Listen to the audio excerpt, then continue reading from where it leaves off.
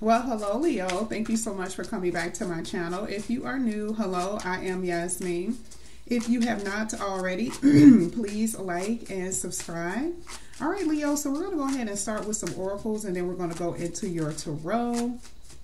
Um, please excuse my nail. I literally just got my nails done, and it broke. So I got to go get it done again. Well, this dumb at least. So excuse me for that, okay? So we're going to go ahead and get into your reading. This is going to be for Leo. All right. What is going on with Leo? Leo, at a crossroad, you have some decisions to make. It says you'll have to make a very important decision. This is maybe about a job, if you want to stay at a job, or if you want to move, or if you want to stay in a relationship, okay? Here is unlocking what was locked can now be opened. So if things have been restricted or blocked, whatever that could be, you will have the key. Okay. So this is like a treasure. I mean, because a key can open up treasure, can open up a lot of different things. We want to see how this is going to play a role in your tarot. Okay.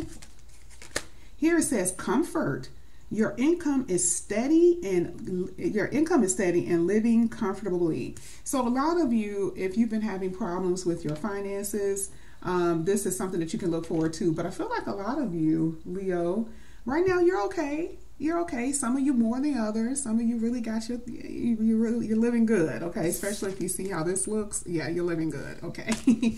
Some of you are actually on a beach or living on the beach or living next to the water, that type of thing. Here it says the rebel. Now I can see this with Leo, okay? It says limiting beliefs are limiting your abundance. So my thing is, is that mm, this could have something to do with maybe limiting beliefs can affect anything. It's not just abundance it's not just finance. It's about what it is that you can obtain financially, your joy, that type of thing.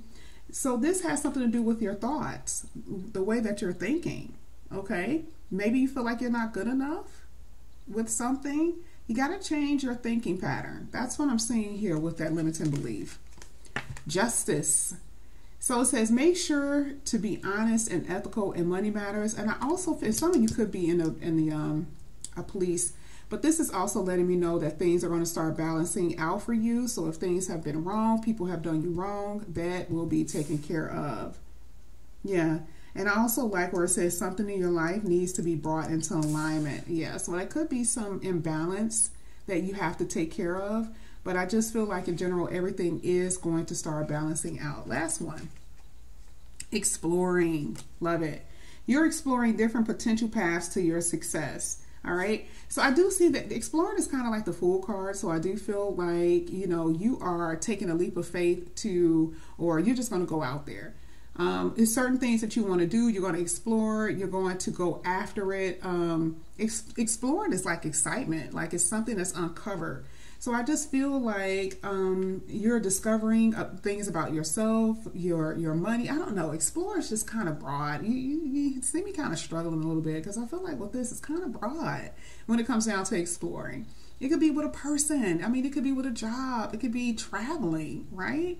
So, but this is what I'm saying here. So, so far your cards are really, really good, okay? But you are at a crossroad with something. So we're going to find out what that is, hopefully, in the tarot.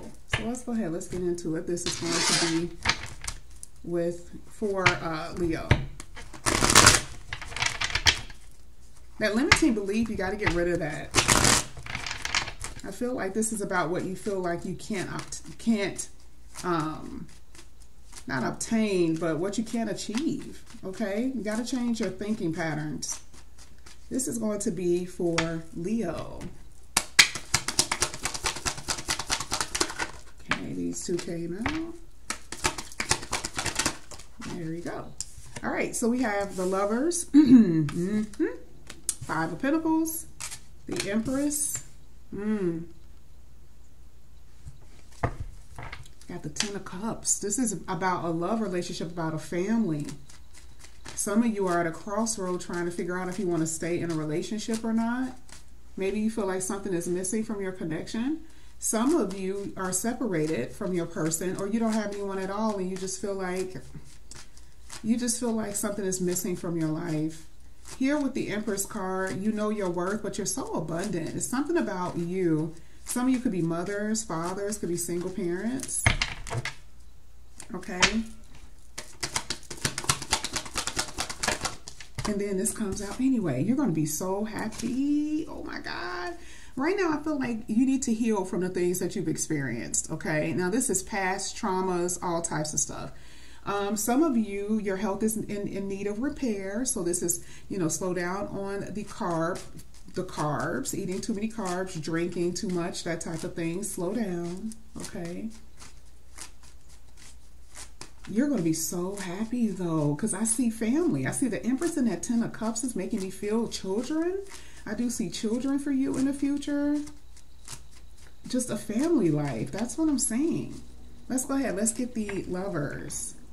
I'm sorry. Let's get some more cards. I'm looking at the lovers card. Let's get some more cards for Leo. Oh, you got the Nine of Cups. Oh my goodness. Leo. You're about to get exactly what you want. It's going to be the partner that you want. Wow. Leo. New love. Whoa, Leo. You cutting things away. You're very guarded. You you like people who are really smart. You're trying to detach from the past and focus on the future. That's what you're doing. And there's that justice card. This is your karm karmic justice. And you are going through a transition. You are going through a lot of changes. This reading is amazing. I'm just going to tell you. This reading is hands down amazing. You have love galore in this reading. You have abundance, but it's something about your life, your family life, your home life that's about to change. Your emotional condition is about to change. I really do see you falling in love with someone, oof, deeply here. I just and I see marriage. I just and I see marriage here. Okay, for a lot of you. Let's get the lovers. This is for Leo. So a lot of you in the past have been very disappointed about love, right? This is why I was saying some of you are at a crossroad when it comes down to your relationship or your connection. Do you want to even deal with the person? You know, is it just sex? You know, it, you know, is it a dead end? It's that type of thing. You've been very disappointed. and this is the reason why I said with that Five of Pentacles that, you, you know, something is missing from your life. Let's go ahead. Let's get it. This is a Five of Pentacles. Yeah, and it, to me, I feel like this could have something to do with someone from your past. Okay, a lot of you are missing someone from your past. Now, I also see here you got the Three of Pentacles and you got the Eight of Pentacles. So for some of you, your work isn't where you want it to be. Um, you, you're so seeing abundance and that comfortability probably should have been something that you should have been jumping up for joy about. Because a lot of you may have been having problems with your finances and you have children to take care of and that's something that you may be worried about okay? But that will change. Let's go ahead let's get the empress. I see children here a lot. I do. I'm not gonna lie. I see kids a lot in this reading. Oh my gosh. What is going on? Some of you are in love with a player this is the reason why this Queen of Swords is here. Some of you are in love with a player or you, you're going to be falling for someone who's a player. Because this could also talk about future as well, y'all. Or you're married to one. Can I keep it real? Okay. The ace, I mean, the, the Knight of Wands isn't necessarily a player type of thing, but at the same time, you know, the Queen of Swords kind of showed me what this is all about. And also with that five, that five of cups. Look at this. What? What? How is this possible? You're cutting off someone who's just very selfish and inconsistent. A lot of you are about to get married or you're going into a marriage status. Like you're getting what you want. The Ten of Cups again. clarified by the Ten of Cups and the Fool card.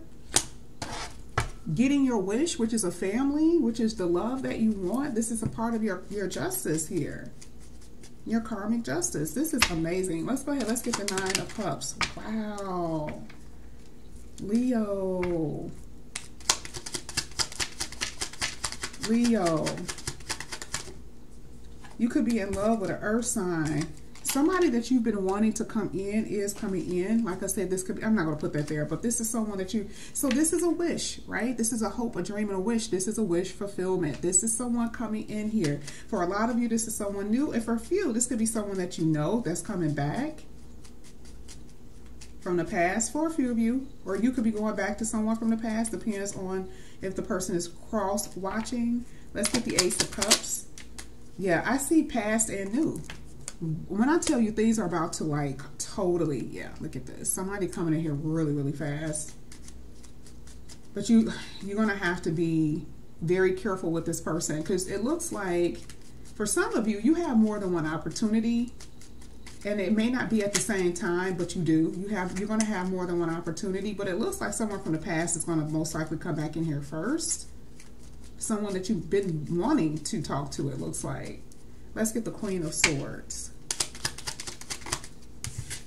Yeah. This is where I know that you're going to be cutting away someone who's inconsistent. So it does look like someone that you've been dealing with or someone that you know who's been, um, who has a third party is going to get cut away. Yeah, you're just going to completely detach and move on. See, you cannot, you can no longer stay in, in denial. That's what I'm saying here. This is going that's the reason why the death card is at the bottom of the deck. It's over and done. This is about to be over and done. You're not going to deal with this anymore. Let's get some love. Let's get some uh, romance, not romance cards, but some oracle cards. Let's get a few more here for Leo. So like I said, let's get grab these really quickly. There's going to be you being at a crossroad. Okay. This is enlightenment, which is what I'm kind of seeing with relationships Stop, you know, limiting your beliefs about who you are as a person. You will have comfort. There is going to be justice done when it comes down to you and uh, your life, just in general. Things are going to start balancing out. You need to start balancing out. That's what it looks like, right? You're going to start exploring to find your happiness. This is a turning point, okay? That's what this really is. Don't be addicted to, to a toxic person even though right now you may be in love with someone, it may not be worth it right now. I mean, it may not be the, they're not the type of person or the person that you will be with in this lifetime. Okay. Even though you may have a strong bond, it's just not going to happen in this lifetime here. Um, there's going to be a big change. That's what this is. Big change. Get ready for it. And that's what you're looking at here with the death card. Okay, so this is what I have for you here, Leo. Thank you so much for coming back to my channel. And again, if you are new, please like and subscribe, hit that notification bell, and I will see you back here again soon. Bye.